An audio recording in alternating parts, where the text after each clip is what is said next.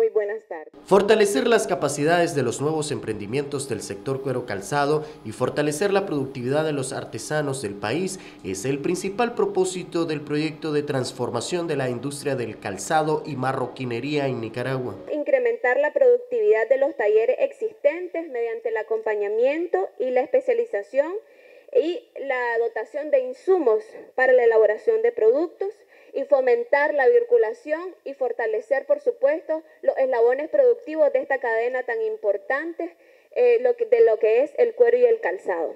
Dentro de los componentes del proyecto está la inversión de 4 millones de córdobas como parte del mecanismo de la responsabilidad compartida entre los talleres y el Ministerio de la Economía Familiar a través de la entrega de insumos para la producción como cuerina, tela, elásticos y maquinarias. Supuesto, la elaboración de planes de producción de los negocios con los que, van a estar participando.